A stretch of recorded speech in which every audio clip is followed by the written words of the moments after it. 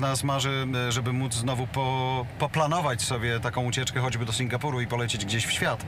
Jak to będzie wyglądało, zobaczymy, bo tak naprawdę linie lotnicze, lotniska, lotniska dzisiaj organizują koncerty w swoich pustych halach i to wygląda nieźle, ale też przygotowują się na decyzje linii lotniczych, które mówią, na małą skalę zaczniemy się otwierać. Procedury w Australii są e, przygotowywane, procedury w Stanach Zjednoczonych także.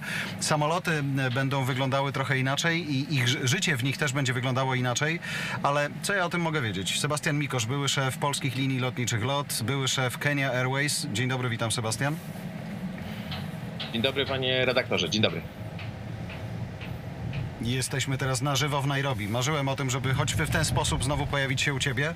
Powiedz, y, na ile prawdopodobne jest, że ruch lotniczy zmartwychwstanie i jako tako powoli będzie się rozkręcał?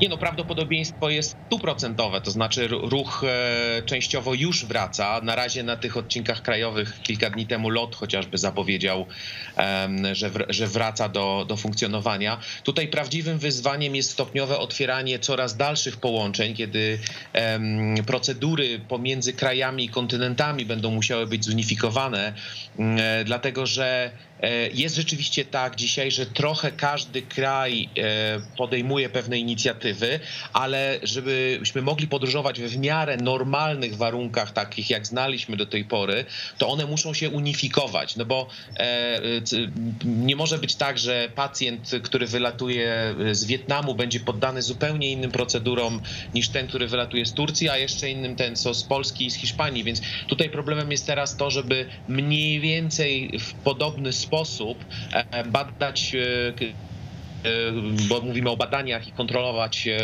pasażerów już od samego momentu przekroczenia progu terminalu, bo bo w tym momencie wiele wskazuje na to, że zaczną się, zaczną się nowe procedury i nowy sposób podróżowania.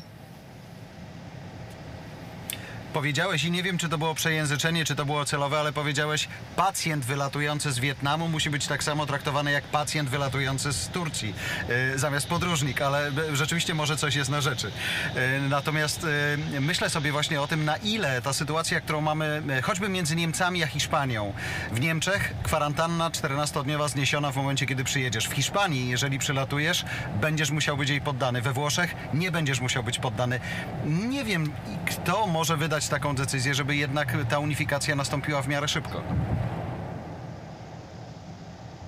E, Przepraszam z tym pacjentem, bo się zasłuchałem e, w słowa doktora, który był tuż, tuż przede mną i mi się na całe szczęście linie lotnicze nie będą woziły pacjentów, tylko będą woziły e, pasażerów i podróżnych. Ale tutaj trochę odbiję pytanie. To znaczy, to jest tak, że właśnie, właśnie WHO jest dzisiaj głównym centrum tworzenia się procedur, które będą akceptowane przez, przez wszystkie kraje. To znaczy, dzisiaj to nie lotnictwo decyduje o tym, jakie będzie miało procedury, ani lotniska, ani linie, e, tylko wszyscy, którzy zajmują się bezpieczeństwem e, sanitarnym. Dlatego e, jest coraz, znaczy przede wszystkim jeśli chodzi o kwarantanny, to nie ma możliwości powrotu do latania, jeśli będą obowiązkowe kwarantanny. I są badania udostępniane przez Ajatę na, na swojej stronie, które pokazują, że konieczność odbycia kwarantanny po przylocie do danego kraju jest praktycznie równoważna z zamknięciem tego kraju, bo nikt nie będzie przylatywał, chyba że mieszka w danym miejscu, odbywał kwarantannę i potem zmieniał. Więc e, tu mówimy o sytuacji, kiedy te kwarantanny nie będą obowiązkowe i stąd tak drastyczne zaostrzenie, szczególnie na początku pewnych przepisów na lotniskach i w samolotach, po to właśnie, żeby mieć pewność, że lotnictwo i podróżowanie y, nie rozprzestrzenia ponownie e, wi- wirusa pomiędzy miejscami, gdzie on już wygasł. Tak naprawdę nie lotnictwo, ale ludzie, którzy wsiadają do tych samolotów i są tą maszyną tylko przenoszeni. Ale porozmawiajmy o tym, jak może wyglądać życie na pokładzie samych maszyn. Wiemy, że one pewnie będą musiały być zdezynfekowane. Mówi się o tym, że trzeba będzie zgłaszać się i zapisywać do kolejki do toalety, że na krótkich lotach nie będzie żadnego, e, żadnego poczęstunku. Na dłuższych lotach będzie on specjalnie przygotowywany. Czy linie lotnicze dzisiaj są na to gotowe, żeby e, od tej strony to było najbezpieczniejsze jak tylko można? To znaczy odpowiedź jest, linie lotnicze nie są na to gotowe, natomiast muszą być na to gotowe, dlatego że linie lotnicze, żeby wznowić swoją działalność, muszą się do tych wszystkich przepisów dostosować. I teraz myślę, że jeśli mogę, to takie dwa, dwa poszczególne bloki. Pierwszy blok to będzie blok właśnie takich ogólnych oczekiwań, które wyznaczy e, WHO i które zostaną przełożone na, na lokalne regulacje. I to na pewno będzie oznaczało, że będzie bardzo ograniczony dostęp do terminali w pierwszej fazie, czyli będą mogli wejść tylko pasażerowie, e, którzy, którzy lecą. Skończy się odprowadzanie, bo chodzi o ograniczenie tłumu. E, na pewno będą, podda- będą mogły być wymogi różnych testów, czy to takich, które ktoś ma już właśnie te immunologiczne, czy takie, które są robione na lotnisku. Na pewno będzie obowiązek noszenia masek we wszystkich przestrzeniach publicznych na lotniskach i w samolocie. Na pewno będzie inny sposób wsiadania do samolotu po to, żeby ograniczyć możliwość tej, kumulacji no i oczywiście e, będzie, e, będą nowe sposoby odkażania e, i to one będą obowiązkowe i znacznie częstsze, co oczywiście dla linii oznacza, że samoloty nie będą mogły szybko lecieć z powrotem, tylko będą musiały zostać poddane procedurze. E, blok e, rzeczy, które to już linie same będą mogły dodatkowo, e, dodatkowo wprowadzać. Właśnie chociażby jak takie co z posiłkiem, czy go rozdawać, czy dawać go przy wyjściu, czy ograniczać dostęp do toalety na krótkich rejsach. To myślę, że ta pierwsza faza wznowienia przez najbliższe 3-4 miesiące będzie będzie uciążliwa i ona będzie też zmienna, to znaczy wraz z jakby z uczeniem się i przyzwyczajaniem i postępem technologicznym linie będą ściągały te ograniczenia. Jeśli chodzi o postęp technologiczny, na przykład jest powszechne oczekiwanie, ale dzisiaj nikt nie wie jeszcze jak to zrobić dokładnie, żeby linie lotnicze były w stanie śledzić, czy władze sanitarne były w stanie śledzić za pomocą aplikacji, gdzie dany pacjent, e, gdzie dany podróżny, może, gdzie dany podróżny był i czy właśnie miał styczność z pacjentami, czy nie, e, po to, żeby wiedzieć ewentualnie E, jak za Więc jest masę takich różnych inicjatyw i one, one stopniowo będą się unifikowały, ale też potem stopniowo jestem przekonany, jak już się nauczymy wszyscy funkcjonować w tej nowej rzeczywistości, będą po prostu ściągane.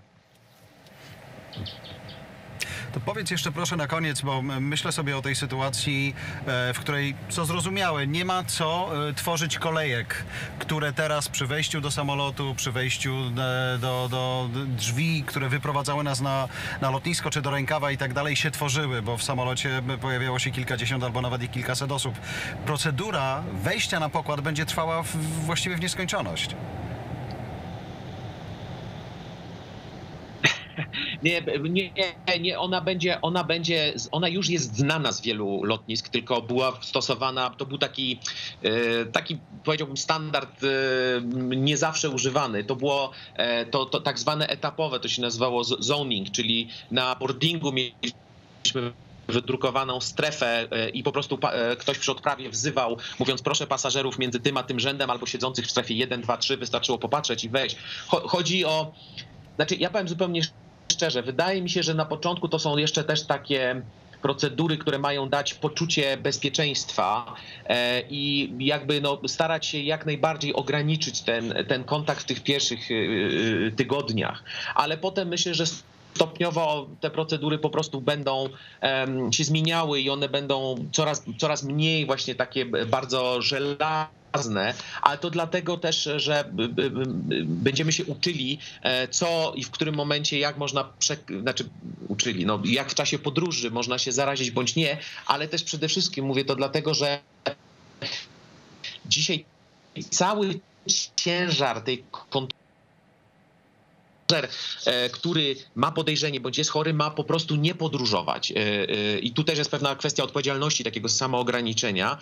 Wiedząc, że ja bym bardzo chciał, żeby lotnictwo miało znowu problem tego, że jest wielu pasażerów i że można latać, że jest wiele połączeń i trzeba te procedury wdrażać, żeby było kogo wozić. No bo dzisiaj jesteśmy w sytuacji, że na razie nie ma kogo wozić i w ogóle nie można, nie, nie, nie można latać. Ale, ale to, to będzie, że to, to naprawdę się uda wznowić, tylko ryzyko to będzie, tak jak mówię, trochę tak jak było po 11 września, e, e, będziemy, będziemy musieli to mieć we krwi będziemy musieli te, to, to ryzyko jakby zintegrować do sposobu podróżowania codziennie, takiego zwykłego, bo te same procedury oczywiście też przecież e, będą w pociągach, tak? czy, czy, czy w każdym innym środku komunikacji e, publicznej.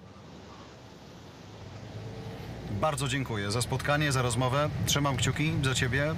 Uważajcie na siebie, całą rodziną. bardzo Sebastian dziękuję. Mikosz, kiedyś szef lotu, później szef Kenya Airways.